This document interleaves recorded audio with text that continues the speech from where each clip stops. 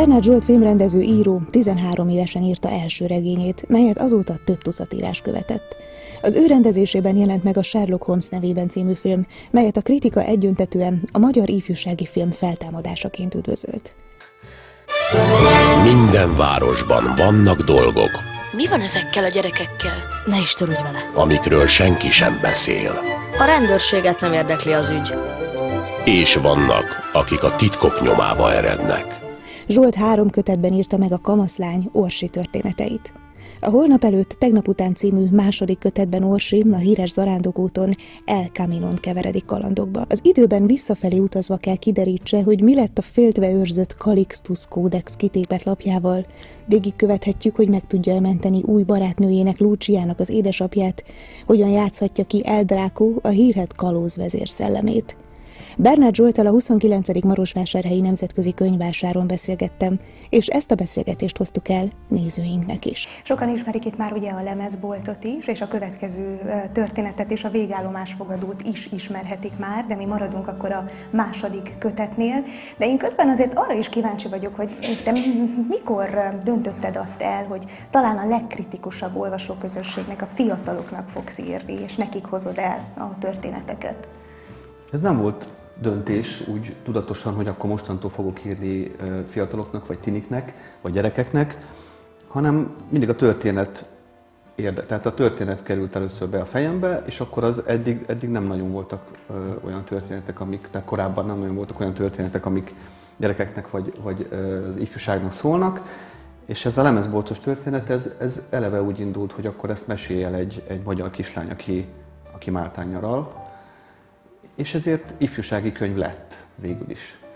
De ettől függetlenül meg- megkaptam már azt azért így egy-két olvasótól, hogy ezek nem igazán ifjúsági könyvek, csak úgy, úgy néznek ki. Tehát ifjúsági könyvbe csomagolt felnőtt könyvek. És sok szülő is olvassa, remélem, hogy kevesebb, mint ahány gyerek, vagy, vagy úgyhogy ez nem, nem tudatos. Most, mivel Orsi szerepel benne, és a barátai is ha- hasonló korosztály, ez most éppen ifjúsági regény. Ha az Orsi 30 éves lenne, akkor már nem az lenne. Szeretnék írni még Orsi könyvet egyébként, de az már valószínűleg nem ifjúsági könyv lesz, mert Orsi is öregszik, tehát most már, most már lassan 17-8 éves Kicsit olyan, mintha rólam beszélnénk, de próbálok elkülönülni, ugye én is Orsi vagyok. Orsi karakterét, nem öregszem, köszönöm szépen a megerősítést. Na, és hogyan kezdődött a, az El Camino-s története Orsinak? Hogyan indult elő ezen az úton? Mert tudjuk, hogy a szerző elindult harmadszor is, már ugye a kötetben még kettőről olvashatunk, de utána még voltál egyszer ezen a, a zarándokúton. Orsi hogyan indult el? Orsi engem követett, illetve a nyomomba járt. Ö, ahogy mondtad az előbb, há- háromszor voltam ezen az úton, ö, 16 évvel ezelőtt, ö, 11 évvel ezelőtt és tavaly. Az Orsi, és mind a három alkalommal írtam utinaplót. Tehát napi rendszerességgel firkálgattam, és akkor utána ö, otthon leírtam így az egészet ilyen számomra olvasható formába, csak hogy meglegyenek, tehát hogy ne felejtsem el azokat az apróságokat sem, amik itt történtek az úton. Az, az Orsi kötet, az a, a, ez a holnap előtt tegnap után, ez a második utinaplónak a másolata, tehát az volt a váza, azok a szereplők vannak benne, azok a történések, és hát orsis, orsisítva lett. Illetve hát az ő, az ő kalandjai be lettek ugye fűzve. Én nem mentem vissza az időbe, meg nekem nem kellett egy spanyol kislány édesapját ö, ö, megmenteni, illetve nagypapáját vagy édesapját? Nem, nem is tudom. Édesapját. Édesapját. Úristen, mi, milyen rég volt. Csak Orsi hiszi azt először, hogy a Orsi, nagypapája. igen, igen, igen, igen. Bocsánat, csak tényleg annyira, annyira messze volt, mert ugye mind a három könyvben megmentjük valakinek az apukáját. És tehát nagyon sok minden benne van, a, tehát ami a könyvben szerepelnek, apróságok, szereplők, a fehér cica, akit elgázolt egy autó, a palacsintás néni, a Marcelo bácsi, aki egy visszavonult egyetemi professzor és vándorbotokat farag, és még sok más szereplő, azok valós szereplők, azokkal mind, mind volt szerencsém találkozni. És most ők vajon tudják, hogy egy könyvben szerepelnek? Vagy Nem hiszem. Nem. Ahogy Nem a Máté lemezboltos bácsi sem tudja, hogy, hogy van egy lemezboltos könyv az ő család történetével végül is. És én mikrofon előtt mondtam neked, hogy annyira izgalmas a kötet, hogy amikor azt gondolnánk, hogy minden megoldódik, akkor még jön vagy két fordulat, amire aztán tényleg nem számítunk. Tehát önmagában az, hogy egy kiskorú lány meg kell mentse valakinek az életét, meg ugye egyáltalán belekeveredik egy ilyen kalandba, egyedül marad az úton, már önmagában az kalandos, de akkor még közben bejön az időutazás, mint hogyha az író a saját dolgát nehezítette volna meg. Számodra milyen ez a munka? Hogy, hogyan tudod kitalálni, hogy ki, mikor, hol kell legyen, hogyan tudnak találkozni az időben, ennek a logikáját követni, mert épp mondtam, hogy nekem le kellett rajzolni, hogy akkor ez, ez hogy lehetséges, mert az én felnőtt agyam már nem biztos, hogy ezt így fel tudta fogni elsőre, ennek az izgalmát, hát még megírni, kitalálni és követni, nyomon követni. Azt mondják, hogy kétféle író van, illetve kétféle módon lehet írni. Van olyan író, aki csak akkor tud elkezdeni, amikor írni, amikor minden már ott van a fejében, és teljesen látja a történet végét is. A másik fajta, az pedig úgy ír, hogy olvas, tehát sorba jönnek a, a jelenetek, a fordulatok, és, és ő is kíváncsi arra, hogy mi lesz a vége. Én ez, ez, ez vagyok. Tehát amikor elkezdtem írni akár, akármelyik könyvet ezekből, a háromból, volt egy alaptörténet, egy, egy, egy, egy-két szereplő, valami alapkonfliktus, és akkor elkezdtem írni. És azért is izgultam közben, hogy most akkor mi lesz, mert hogy, de viszont fejben nem tudom kitalálni. Tehát le kell ülnöm, el kell kezdeni gépelni, és, és közben jönnek a ötletek, és sokszor meglepődöm azon, hogy mit írtam le. És sokszor beviszem magam, ahogy mondtad is, olyan zsákutcába, hogy aztán így nézem, hogy most hogy fog kikeveredni, vagy hogy fogom megoldani. Tehát nem tudtam a végét a könyvnek én sem, amikor elkezdtem írni. Nem tudtam, hogy Orsi volt, aki tulajdonképpen el, előidézte a nagypapájának a balesetét, nem tudtam, hogy, hogy ki az a rendőr, aki ott követi, azt sem tudtam, hogy rendőr. Tehát egy csomó minden, tulajdonképpen minden, ami le van írva, az pontosan olyan sorrendben tudtam meg, mint hogy az olvasó, amikor olvassa a fejezeteket. És a végén meglepődtem, hogy mi lett a vége. De jó, hát akkor tényleg kalandos tud lenni neked az írás is, és nagyon szépen ötvözöd a, a valós elemeket ugye a fikcióval, tehát hogy te is mondtad, vannak bácsikák, vagy van bácsika, akivel ott találkoztál, meg egyáltalán El Camino-nak a történelmét nagyon szépen beviszed, hogy még tanulunk is, nem is akarunk, de hogy belejön, és milyen jó, hogy az ember egy csomó mindennel gazdagabb lesz a könyv után. Nem beszélve arról, hogy még a recepteket, vagy az italokat, az ételeket, mindent, mindent behozol, ami, ami El Camino-n úgy el tudja érni az embert, szóval még kedve is támad az olvasónak El Camino-ra utazni, és közben pedig keressük ennek a, rejtélyét, misztikumát, mert bevallom, hogy én, amikor neki olvasni a könyvet, akkor, akkor ugye, ha El Camino, akkor azt várjuk, hogy, hogy az embert úgy egy csoda körbe veszi, hogy elszáll. Na hát nyilván ebben benne van az időutazás is, de közben nagyon szépen tudott hozni Orsinak a jellemfejlődését is ebben a történetben. Milyen lánynak látott te Orsit így a, a kötet végére, akkor a második kötet végére, vagy, vagy mit tudsz te róla elmondani? Számodra hogyan alakul ő, és hát fejlődik tulajdonképpen a történetek során? Orsi a harmadik lányom szerintem, van, van két lányom, van egy ö, nagy lány, aki 24 éves, és van egy kislány, aki 10 éves. Orsi a kettőnek az egyvelege, plusz még hozzátéve egy-két apróság. Ö, tehát amikor ő beszél, vagy ő, ő szól, akkor, akkor a két lányom hangját hallom, az egyiket itt, a másikat ott, és ebből összeáll valami, valami visszhang. De nem olyanok a lányai, mint Orsi, csak, csak van bennük valami egy a nagy lányunkban, az a kis olyan kicsit olyan felsőbbrendűen nézi a világot, hogy akkor most, most akkor megnézzük az alatvalókat, így, így ugye Orsinak van egy ilyen attitűd, meg kicsit okoskodó, bár az inkább a kislányom szerintem, aki, aki, aki tíz éves korára nagyon, nagyon, nagyon képes így kiállni önmagáért, és felháborodni, és harcolni az igazáért. Úgyhogy ez is benne van.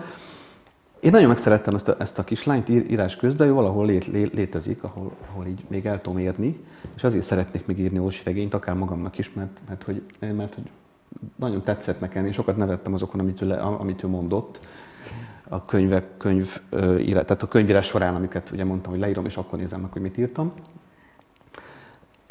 Remélem, hogy boldog lesz, mert, mert nagyon sokat töpreng, és nagyon túl sokat agyal ahelyett, hogy inkább érezne, vagy, vagy rábízná magát így a, így a sorsra, vagy az életre, mert nem lehet annyira, tehát az életet nem lehet kontrollálni, meg, meg minden percét meghatározni, meg, meg nem is szabad szerintem. Hogy az elkövető üldöz minket, pontosabban Luciát, de nekem is volt már szerencsém vele találkozni.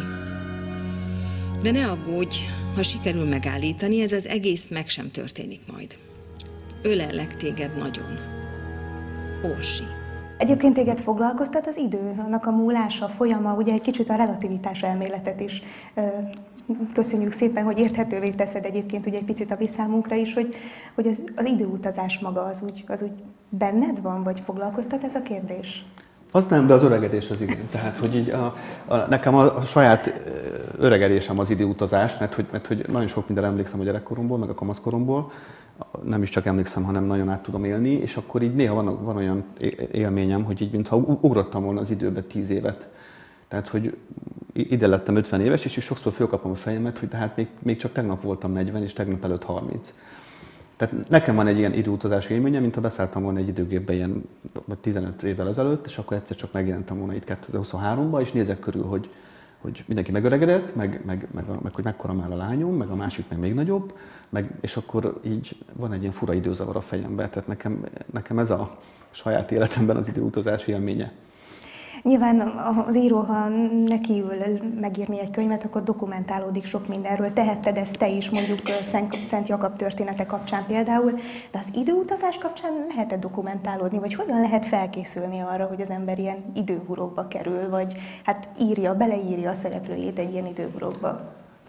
Mindig is nagyon szerettem volna írni egy időutazásos történetet. Nekem a legelső időutazásos könyv, ami a kezembe került, ez a Nemere Istvánnak az Időtörés című könyve. Én tíz éves lehettem körülbelül, vagy olyasmi. És soha, soha nem hallottam erről, hogy időutazás, nem olvastam ilyen történetet korábban, és engem az elképesztően megragadott. Abban már benne van minden, amit az időutazásból azóta is megírtak, az időparadoxon, meg a találkozik önmagával, minden. És ez elképesztően tetszett nekem az, a, az, az, az egésznek az ötlete, hogy, hogy utazni az időben, és amikor elkezdtem írni életembe először egy könyvet, egy spirálfüzetbe, 13 éves voltam, akkor az is természetesen egy, egy időutazásos történet volt. És, és mindig is volt bennem egy, egy olyan, hogy azért csak meg kéne írni a saját, saját időutazásos történetemet, és az Orsi, az első Orsi regény a lemez volt után jelezte a szerkesztőm finoman, hogy még szeretne kettő ilyet látni, ha nem baj, mert hogy még van ebbe, ebbe. És akkor, akkor gondoltam, hogy na, akkor most eljött az idő. Tehát, hogy akkor, akkor utazzon Orsi az időben. De az, hogy hogy utazzon, az megint csak egy kérdés volt, mert azért a legtöbb idő, időutazásos történet azért arról szól, hogy visszamegyünk a múltba, ott találkozunk esetleg a, a szüleinkkel, mint a Visszajövőbe című filmben, ami úgy tökéletes, ahogy van, ezt mindenkinek ajánlom, ha még nem látta. Meg ugye megyünk vissza még korábban, találkozunk történelmi személyiségekkel, és én itt egy picit szerettem volna egy, egy mást, máshogy, mást írni. Tehát itt is az a cél, hogy eljussunk a múltba, egy nem túl távoli múltba, ugye egy pár, pár héttel korábbra, hogy megakadályozzunk egy, egy, egy szörnyűséget, és ezt az, maga az út, hogy megyünk előre nap, mint nap, itt, itt valahogy összejött ez, hogy akkor oké, de akkor menjünk vissza is az időbe egy-egy napot. Ugye a Lucia visszafelé járja a kaminót, Orsi arrafelé, tehát a rendes irányba, és akkor ugye ez ebből alakul ki egy ilyen, egy ilyen dolog, hogy minden nap találkoznak, és mégsem ismer rá ugye a Lucia az Orsira, és ez, ez az egész így nekem nagyon-nagyon tetszett, mert ebből, ebből, ebből lehetett valamit, ezzel lehetett valamit kezdeni.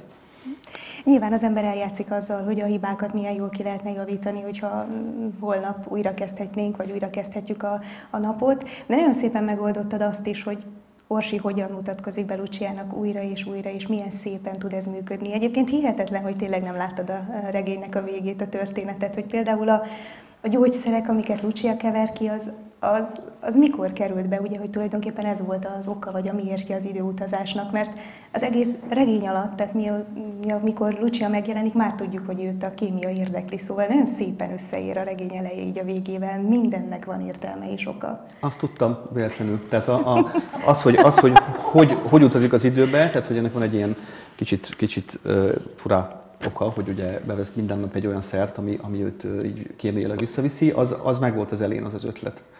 Tehát azt, azt, azt, az nem lepett meg, az megvolt. De talán az az egy volt meg így igazából. Tehát a, a, a, az, hogy mi történik a, a nagypapájával, az, hogy, az, hogy ki ez, a, ez az üldözőjük, meg egy csomó, meg hát az egész ö, rejtély, hogy akkor most a, a, mi a meg, megfejtése ennek a kódnak, meg mi ez a kitépet lap, ezek mind sorba jöttek. Uh-huh. És itt van még a kódfejtés. Hosszan magyarázod, még én is megértettem, hogy akkor mi kellene legyen a kódfejtésnek a lényege. Ez is érdekel téged, az ilyesmi, hogy milyen kódfejtések vannak, milyen kódok, titkok, titkos írások? Mert nagyon izgalmas kaput nyitottál itt meg nekünk. Nem annyira érdekel, de viszont amikor a könyvet írtam, akkor, akkor utána néztem, igen, igen, de, de ez is, ez is egy, egy régi, uh, hogy mondjam, nem is, illetve szintén olvasmány élmény, illetve film élményből jött. A Sándor Mátyásból abba volt ugye egy nagyon komoly kód, egy ilyen négyzetrácsos kód, amit mindig meg kell fordítani a rácsot, hogy ki összeolvassuk a betűket. Nekem szintén megragadt ez a motivum a Sándor Mátyásból a gyerekkoromban, többek között, ez, a, ez, ez is nagyon tetszett, és ez is ott maradt így a, valahol így a hátsó polcon, hogy, hogy, hogy egyszer azért kipróbálnám ezt, hogy, hogy beleépíteni a valamelyik könyvembe egy titkos írásos motivumot, de nem akartam azt használni, ezt a hagyományos négyzetrácsos dolgot, és akkor kezdtem utána nézni, hogy milyen, milyen más kódok vannak, amit a történészek ugye felfedeztek, vagy a, ilyen jelkép, vagy elkutatók az évtizedek során, vagy évszázadok során. És akkor találtam rá erre a kódra, tehát ezt nem én találtam ki, ezt a, ezt a nagyon bonyolult kódot, amit nem lehet megfejteni csak akkor, ha tudjuk a kulcsmondatot.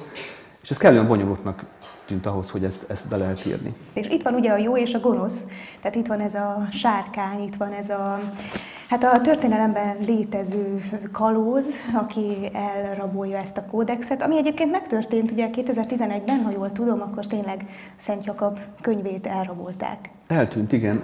Ugye ez az egyik legnagyobb spanyol nemzeti kincs, ez a kódex, ugye a 13. században íródott, és, és tényleg az egész világon egy, egy fantasztikus műkincsnek számít, és ez ott van a katedrálisban, tehát úgy nem is nagyon dugdosság, most már igen, most már jobban el van zárva. És ez tényleg visszakerült, ugye? Visszakerült, igen. De ez tényleg eltűnt, de nem volt olyan kalandos az útja ennek, a, ennek az eltűnt könyvnek, mert egy, egy katedrális környékén dolgozó, talán villanyszerelő vagy vízvezetékszerelő lopta el, és egy évvel később találták meg a garázsába, viszonylag sértetlenül. Tehát, hogy így ez nem annyira kalandos, de ez is adott egy ötletet, hogy, hogy akkor ezt, ezt egy kicsit, kicsit bonyolítsuk meg, hogy miért is rabolták el, milyen misztikus célja volt ennek.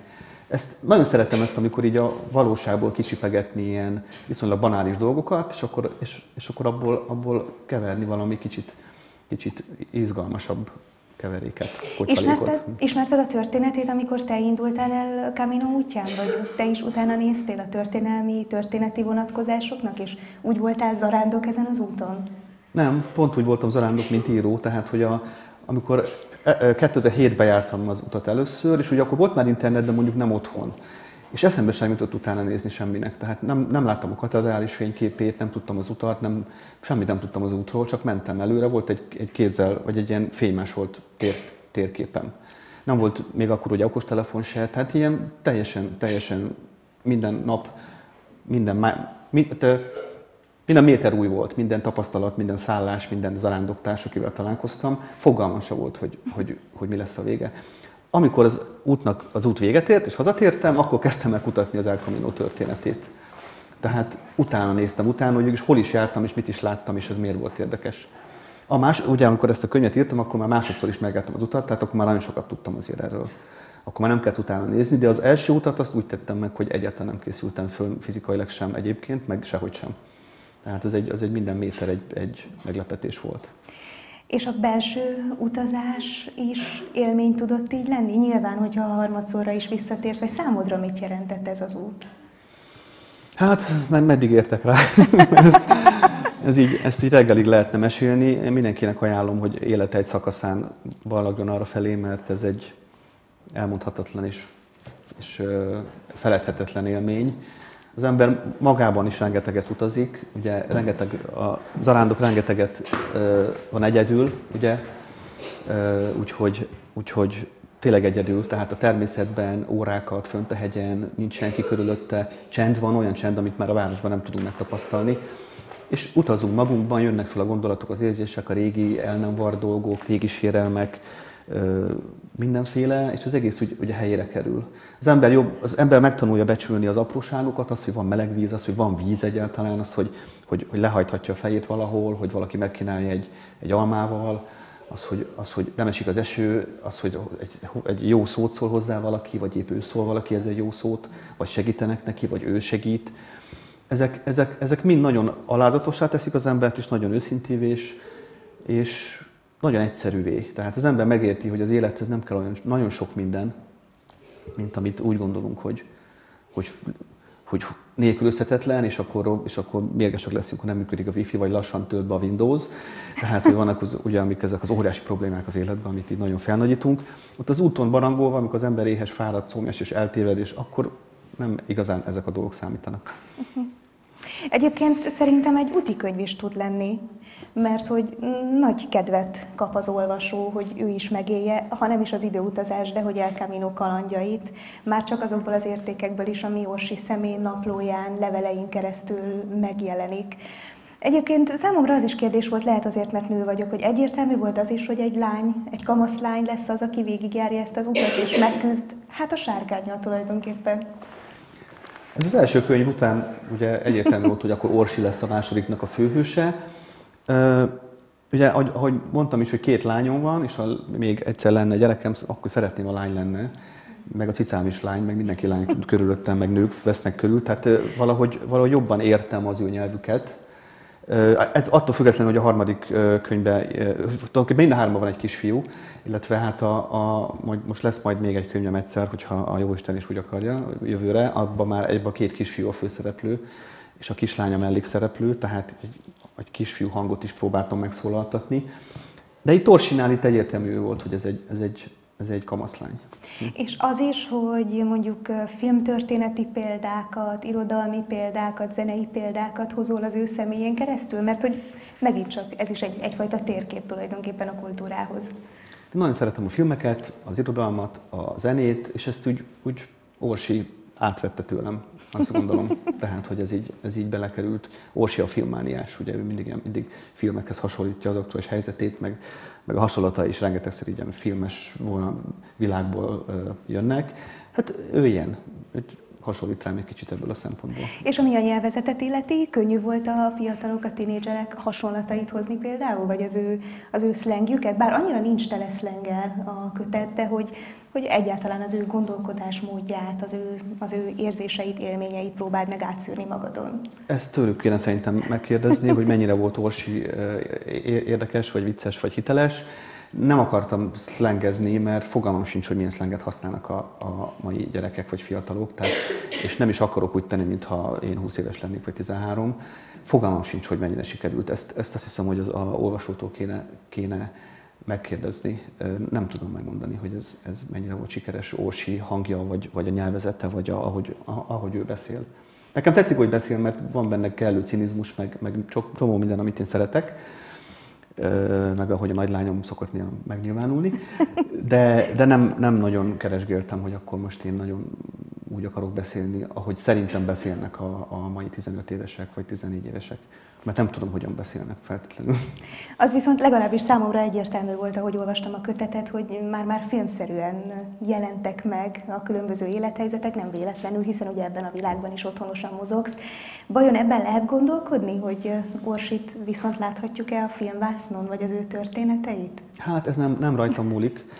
Ugye ez úgy néz ki, hogy, hogy van egy filmrendező, vagy egy forgatókönyvíró, vagy egy, vagy egy producer, aki véletlenül a kezébe kerül a valamelyik könyv, és akkor megszereti annyira, hogy kiharcolja azt a hosszú utat, hogy akkor legyen belőle film. De ez nem az, az író múlik, vagy a szerzőnek a, a feladata. Hát én, én, fi, én filmrendező vagyok egyébként, tehát ugye Igen, 20 évet töltöttem a, a filmgyártásban, és az utolsó két film is ifjúsági film volt, de ez már nagyon rég volt, ez már tíz évvel ezelőtt volt, és, és nem látok egy esélyt rá, hogy, hogy... Meg ezt most azt hiszem, hogy elengedtem, tehát hogy ezt most Örülnék, ha látnám a vászon, de ezt most átadom ezt nagyon szívesen másnak ezt a feladatot, hogyha van kedve hozzá. Terveim szerint június 14-én érek Santiago-ba. Egy nappal azelőtt, hogy Lucia is megkezdi az arándoklatát visszafelé irányban. Azt hiszem, apa, hogy miatta vagyok itt. Ez az én utam értelme és feladata. Meg kell mentenem a papáját, akit június 7-én gyilkolnak meg.